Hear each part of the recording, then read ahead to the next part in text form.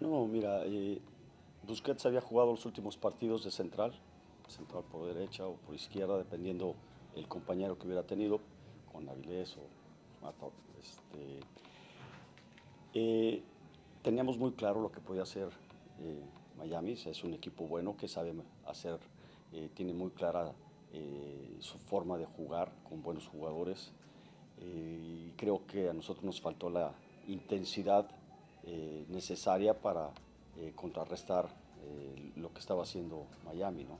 Perdimos pelotas eh, donde en nuestra recuperación teníamos para salir fácil, me refiero en un apoyo y en una progresión, y nos queríamos quedar con ella y ahí perdíamos la pelota y donde nosotros salíamos los afectados. ¿no? Me refiero a que quedábamos mal parados y ellos con buena oportunidad. Así fueron los primeros 15 minutos donde ellos tuvieron oportunidades y nosotros no terminábamos por acoplarnos bien en el campo. ¿no?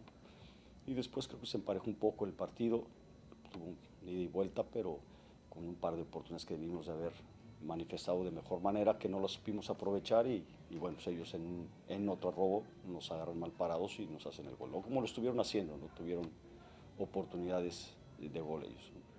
Mira, es, es difícil, lo, lo, mencionaste muy bien, más porque estamos en la misma línea, somos entrenadores, estamos en, un, en una liga y queremos que las cosas salgan bien. ¿no? Eh, ha habido muchas opiniones de muchos entrenadores, de mucha gente, ¿no? y la, la, única manera que conozco es preparar bien a los jóvenes.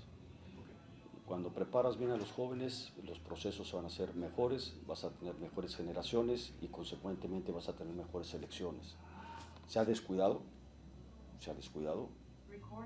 Eh, tenemos eh, una liga sub-23 que para mí sub-23 se me hace extremadamente grande, cuando debe ser sub-18, sub-20 máximo, donde ya los jugadores tienen que estar eh, siendo titulares en sus equipos. Y bueno, también sé que es negocio, sé que pues, son muchas cosas, pero que no se olvide es que lo primordial es el fútbol, de ahí parte todo. Y si no le ponemos atención a las bases del fútbol, se nos escapan a veces las cosas.